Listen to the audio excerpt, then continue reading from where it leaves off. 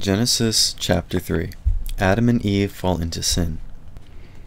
The serpent was more clever than any of the wild animals the Lord God had made. The serpent said to the woman, Did God really say, You must not eat the fruit of any tree that is in the garden? The woman said to the serpent, We can eat the fruit of the trees that are in the garden.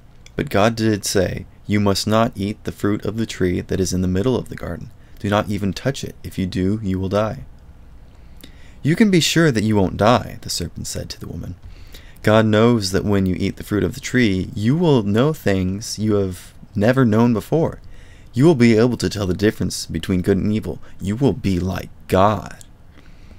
The woman saw the fruit of the tree was good to eat. It was also pleasing to look at, and it would make a person wise.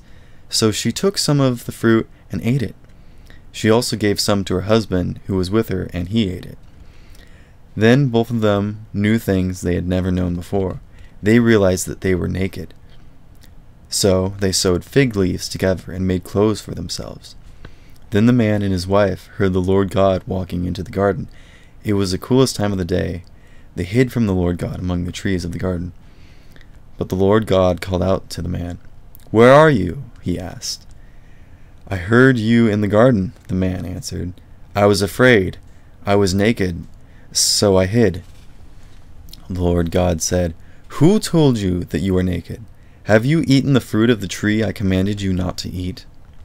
The man said, It was the woman who put here with me. She gave me some fruit of the tree, and I ate it. Then the Lord God said to the woman, What have you done? The woman said, The serpent tricked me. That's why I ate the fruit.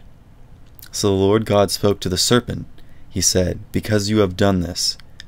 I am putting a curse on you. You are cursed more than all of the livestock and all of the wild animals. You will crawl on the ground. You will eat dust all of the days of your life. I will put hatred between you and the woman. Your children and her children will be enemies. Her son will crush your head, and you will crush his heel. The Lord God said to the woman, I will greatly increase your pain when you give birth. You will be in pain when you have children. You will long for your husband, and he will rule over you.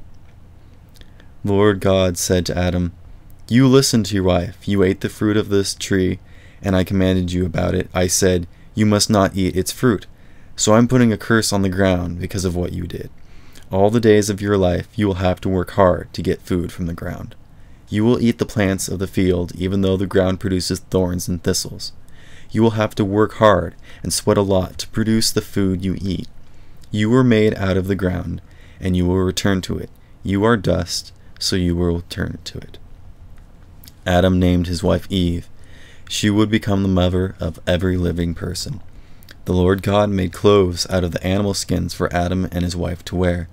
The Lord God said, The man has become like one of us. He can now tell the difference between good and evil. He must not be allowed to reach out his hand and pick fruit from the tree of life and eat it. If he does, he will live forever. So the Lord God drove the man out of the Garden of Eden to work the ground he had been made out of. The Lord God drove him out and then placed cherubim on the east side of the Garden of Eden. He also placed a flaming sword there. It flashed back and forth.